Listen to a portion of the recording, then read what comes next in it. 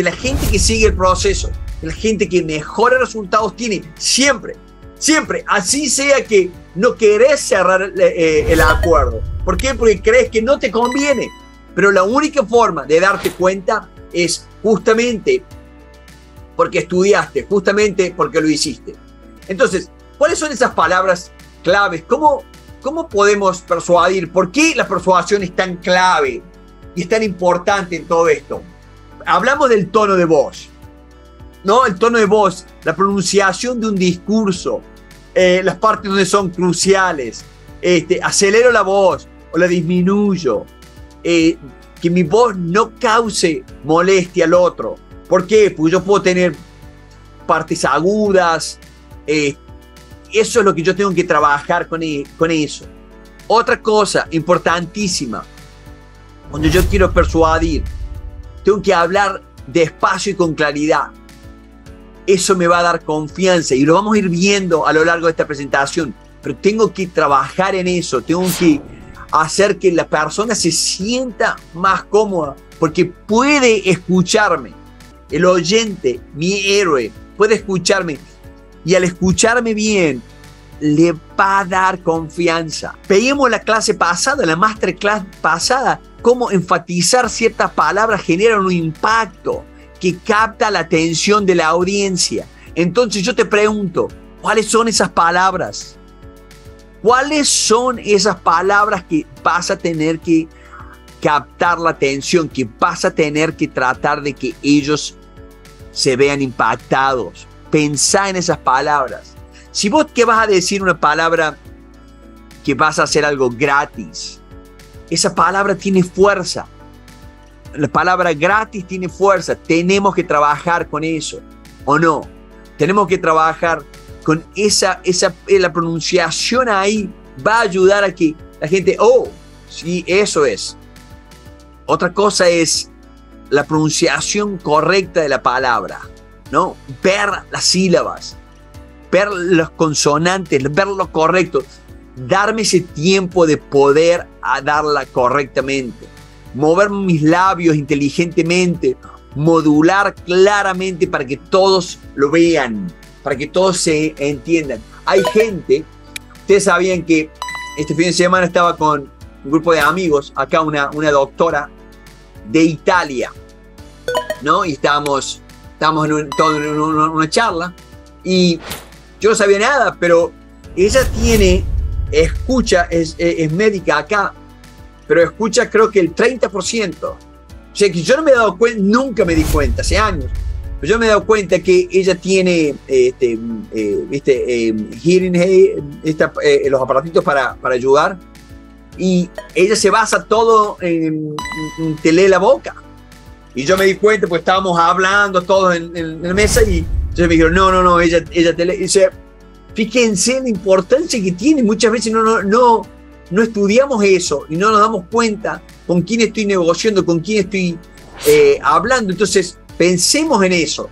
Si nos hace falta eh, eh, mirar a la persona, hablar, trabajar con la persona, que o por, lo menos el equipo no se entiende bien. El equipo es.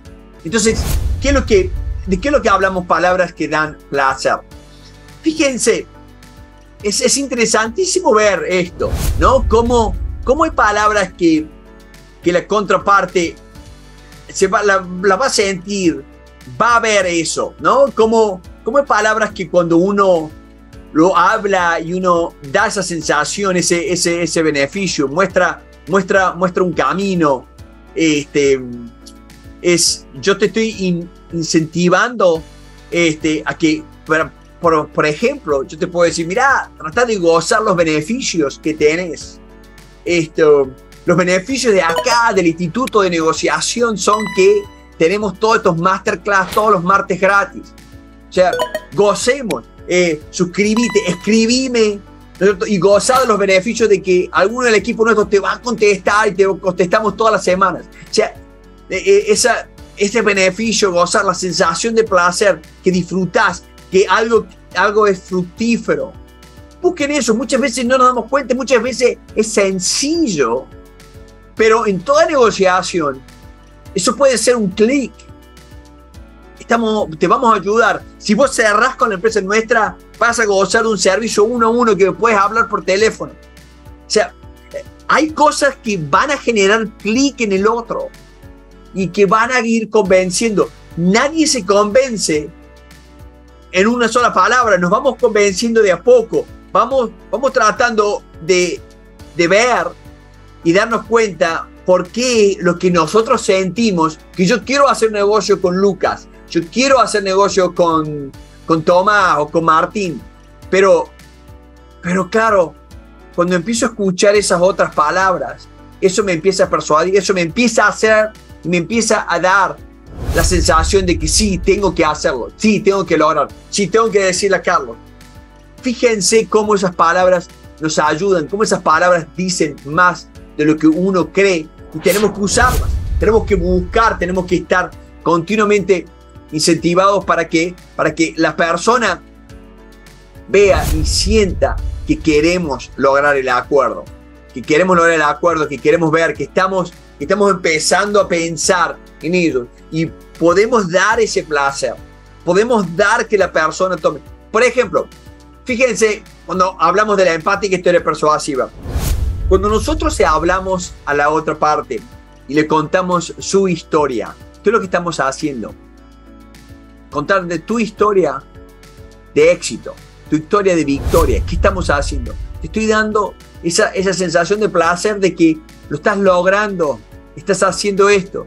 ¿Y por qué eso me ayuda a la implementación? Porque la persona percibe, lo trabaja y nos ayuda mucho más a darnos cuenta de qué es esto lo que queremos hacer. Estamos, estamos acá en, en el lugar correcto y eso tenemos que estarlo transmitiendo. Tenemos que trabajar con la gente para que se sienta de esa forma. Pero, y, es, en todos lados. En todos lados. Tenemos que estar continuamente ayudando y trabajando a la gente para que lo vea, para que lo vea y se sienta. Este, reflejando, reflejando confianza, reflejando eh, la, la, posibilidad de que ellos vean, sí, mira, este, estamos, estamos acá. ¿Por qué utilizamos tanto empatía? ¿Por qué estratégicamente utilizamos empatía? Para poder entender y qué lo, qué es lo que me da la empatía. Si ustedes lo piensan bien, la empatía me da más tiempos. Si yo hago una buena pregunta, me da la posibilidad de que yo pueda pensar mientras vos me contestás. Y el que está contestándome siente como que yo estoy en control, porque hice una buena pregunta, pero también le da el control a él, a contestar lo que él quiere, lo que él ve, lo que él cree que es importante, y eso lo ayuda a él a seguir escuchando. ¿Por qué? Porque él ve que yo te presto atención.